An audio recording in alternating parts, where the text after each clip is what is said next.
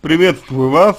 Ага, давайте мы с вами разберем то, что вы написали, и я попробую ответить вам на ваш вопрос, который вы задаете. Итак, почти три года назад, вы, рухнул мой брак. А, здесь а, сразу угадывается то, что вы а, в этом браке ну, нуждались а, достаточно сильно. Здесь а, сразу угадывается, что а, вы как-то были э, чересчур, может быть, чрезмерно заинтересованы э, либо в браке, либо в мужчине, а, в этом, потому что именно вы используете здесь слово «рухнул». То есть, как бы, «рухнул» — это немного не то слово, которым, которое можно употребить. Он распас, распас, люди расходятся, это нормально. А, вполне казалось бы крепкие и счастливые, ведь мы так любили друг друга. Хотелось бы, конечно, здесь чтобы вы выразили свое определение а, э, счастливому браку, да, и, наверное, крепкому браку, а также, возможно, любви, то есть, что для вас любовь? Вы пишете, мы так любили друг друга. Как? А, но я была очень одинока с ним, так сильно мною любимым. Это, конечно, интересно. Во-первых, одиночество это когда человек не в ладах с собой. Ну, вот, сам с собой не в, лад, не в ладах человек. Вот тогда ему одинок. Тут хотелось бы вас, конечно, спросить а как же так вышло, что вы вроде бы его и любите, но в то же время чувствуете себя одиноко. Может быть, с любовью вашей что-то не так? Может быть, помимо любви есть еще что-то? Дальше, я столько переносила безденежье, которого не замечал самостоятельно пыталась справиться с депрессиями. Так. Смотрите. А, здесь вы выступаете в роли жертвы. В роли жертвы. То есть и безденежье вы переносили, и депрессии переносили. Почему переносили-то? А, ради чего терпели? вы отдаете себе отчет в том, что а, вот своими, своими а, такими действиями вы не располагали мужа к, к себе, потому что это обесценивание себя в первую очередь. Если вы себя обесцениваете, то и человек оценить больше вас не будет. Далее, а, хотелось бы, конечно, э, поподробнее от вас узнать, что такое э, справиться с депрессией. То есть вот именно э, в буквальном смысле справиться с депрессией. Э, это, условно говоря, как справиться с депрессией. То есть, как можно справиться с депрессией? Особенно если депрессия, это и есть следствие того, что вы с чем-то к себе справляетесь. Если быть до конца точным, то справляетесь вы э, с чем-то в себе, что называется чувствами, эмоциями и так далее. Так вот, мне интересно, как это справиться с депрессией? Я оказалась после мегаполиса в нелюбимом маленьком э, городе с кучей социально-бытовых проблем. И снова позиция жертвы. Потому что нелюбимый город, маленький, куча бытовых проблем, хорошо, но вы же знали, для чего это все? Вы же знали, что это для вашего мужа, к примеру. Если вы его действительно любите, правда. Вот если не любите, то это уже немножко другая история. И вы знаете, а, как вам сказать, вот то, что у вас не совсем любовь, да, а то, что у вас помимо любви есть что-то еще,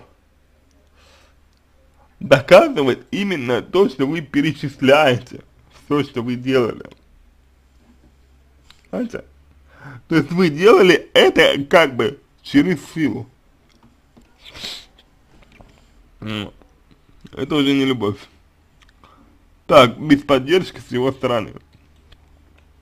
Она, простите, она должна быть, но она, но она должна была быть поддержка с его стороны или как? То есть, почему вы считаете, что должна, должна быть поддержка?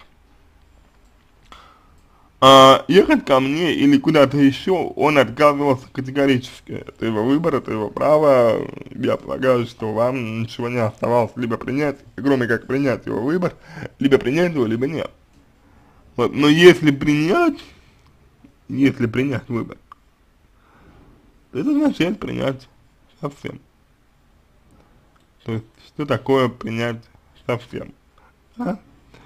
Принять совсем, это значит, что безоговорочно, без ожиданий, без негатива принять его выбор. И, честно говоря, я сомневаюсь в том, что вы это сделали. А, факта своего присутствия в моей жизни мой считал вполне достаточным и любезно предоставил мне возможность самой решать свои и детские проблемы. Ну, здесь а, когда я прочитал первый раз, мне хотелось э, уточнить, э, что такое детские проблемы, да, то есть что вы понимаете под детскими проблемами, потом вы пишете там дальше про ребенка, вот. Э, про него я еще спрошу у вас, но пока что давайте посмотрим тут. Вы говорите, э, мой муж э, считал вполне достаточным факта, э, вполне достаточным факт присутствия в, э, в моей жизни. Почему, почему ваш муж э, считал? То есть он определял, он определял, как будут выстраиваться отношения с вами. Он определил, что достаточно вам, а что нет. Как так вышло? Ведь это не случайно. Думаю, что вы будете спорить с тем, что это не случайно, не случайно такая история произошла. Я не думаю, что вы э, будете не согласны с тем, что мужчина решил, а вы, вы приняли его решение по факту. Так почему вы приняли его решение? Может быть, потому что вы также сделали выбор, а, ну, вот в эту сторону. То есть вы сделали выбор в пользу того, что э, этого достаточно. То есть последнее слово было за вами. Достаточно это или нет? Знаете, как, какая штука. Последнее слово было за вами, не за ним. За вами это, это разные вещи. Но вы позволили этому быть. Дальше. а он э, просто есть, и это счастье. Но опять же, опять же, а вы сами согласны с этим? С тем, что он есть, и это просто счастье. Я уговаривала себя, что половина страны так живет, муж не, не пьет, не бьет, с ребенком играет, что еще надо. Ну, наверное, здоровых отношений, где бы вы чувствовали себя женщиной. Только для этого нужно любить себя, ценить себя, уважать себя и не соглашаться на меньшее. А также, наверное, выбирать мужчин, ну, которые заинтересованы в вашем развитии, которые подходят вам под ваш э, типаж женского поведения. Вот однажды выяснилось, что он устал и уходит, потому, потому что, ну, вы не вели себя как женщина в отношениях. Вы вели себя как мама, как родитель, как э, домохозяйка, но не как женщина. Вот в вашем описании ничего из э, женщины, да, из женской модели поведения я не увидел. Ну, может, может быть, только в начале. А позже всплыла девушка, с которой он мило общался в интернете, пока я билась в конвульсиях и ухаживала за ним и нашим ребенком, и которой было за счастье оказаться в его маленьком городке в России после Украины. Э, слушайте, ну, как бы давайте разграничим ответственность, да. Ваш выбор был в том, что вы, как говорите, бились в конвульсиях и занимались ребенком. Это был ваш выбор. А выбор мужа был общаться с девочкой. И, а, ну, давайте называть вещи своими именами, да получать то, чего ему не хватало от вас. Это такая штука.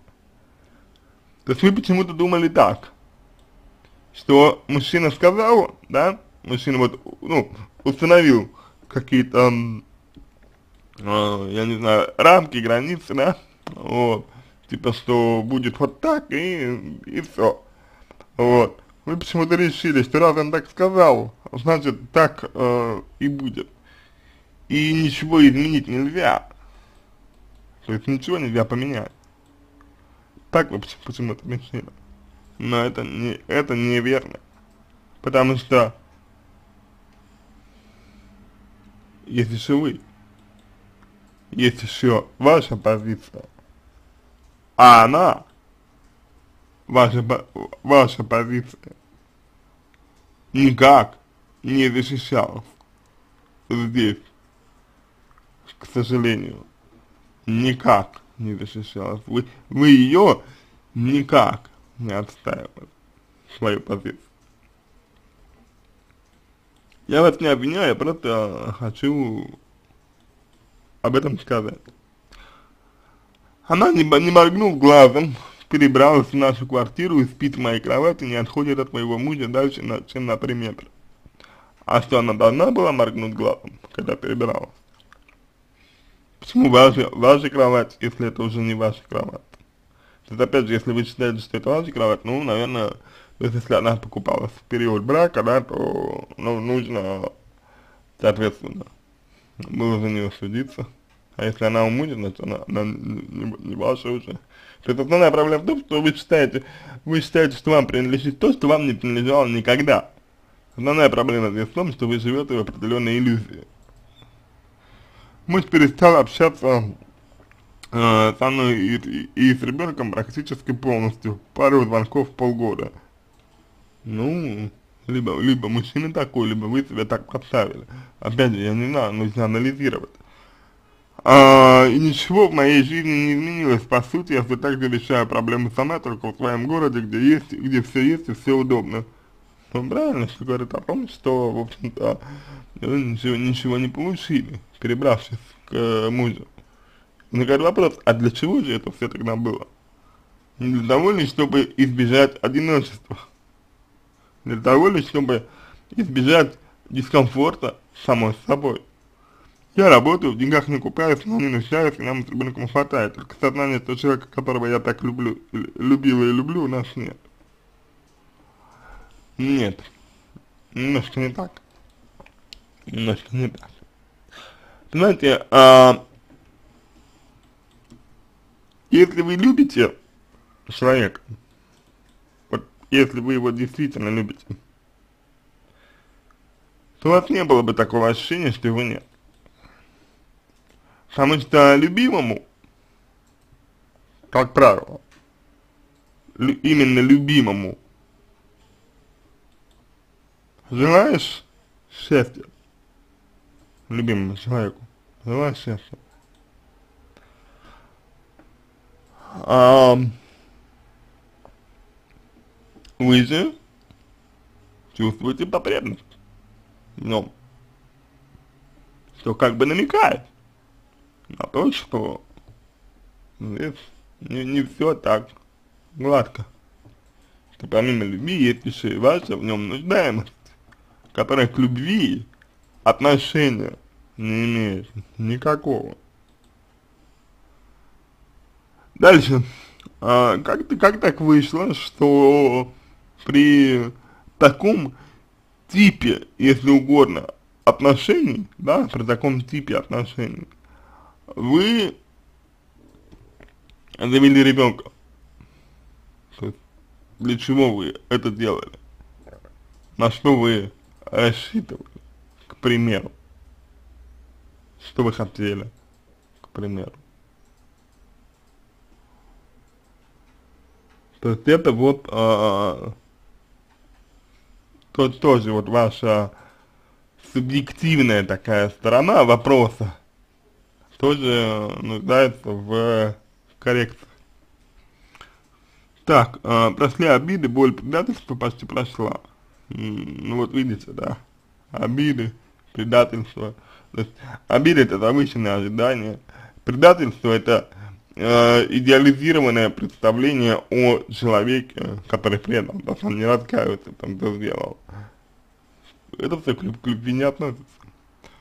Осталась только эта любовь, которой надо как-то жить. Нет, не совсем любовь, она нас тяготит. Это скорее потребность человека. Потребность человека не надо путать с любовью.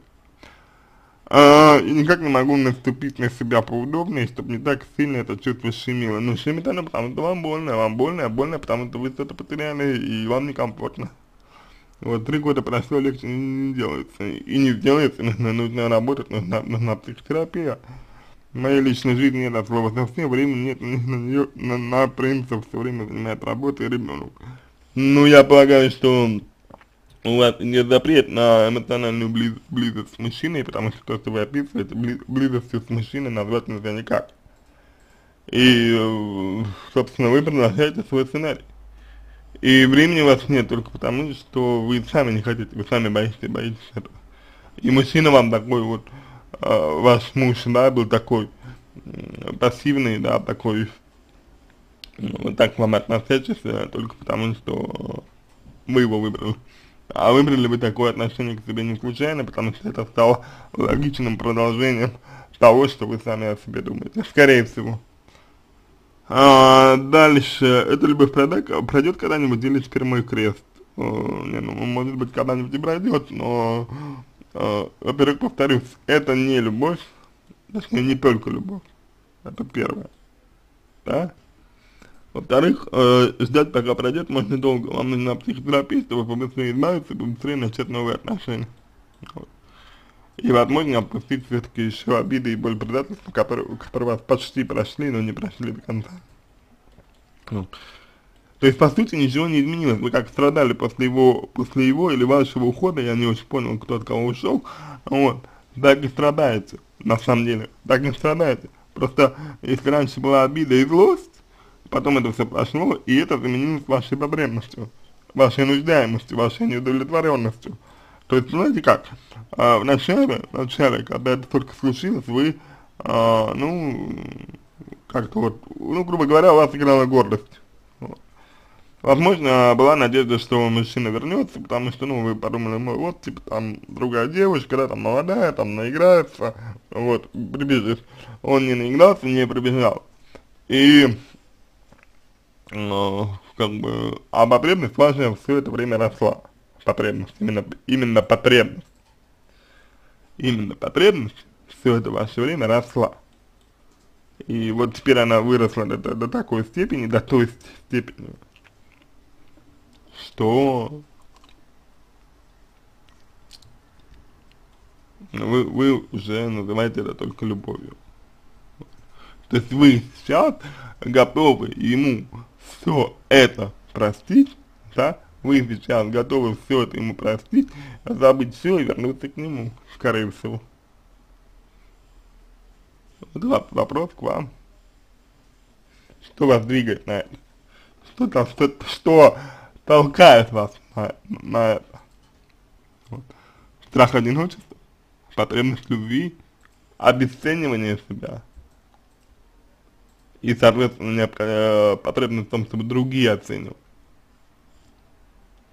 Это вопрос. По тексту вашему, а, который вы вот пишете, да, я могу сказать, что в целом у вас такой, знаете, как бы так выразиться, а, пораженческий, наверное, настрой, в том смысле, что вы легко, легко достаточно сдаетесь, а, на мой взгляд, а, вы не боретесь, а, вот, а, на мой, на мой взгляд, да, то есть вы не боретесь за то, что вам, ну, ну нужно, ну, дорого, вот, вы не отстаиваете а, свои, как бы, личные границы, свои личные границы и права, вы не отстаиваете и вы легко принимаете вот позицию других людей, какой бы она ни была. Ну, если человек вам дорог, понятное дело. То есть, в отношении с близкими личные границы у вас не, просма не просматриваются. А это необходимое условие для выстраивания отношений. На этом все. А, я, я надеюсь, что помог вам, если у вас остались вопросы, пишите в личку, буду рад помочь, если вам понравился мой ответ, буду благодарен, если сделаете его лучшим, я желаю вам всего самого доброго и удачи.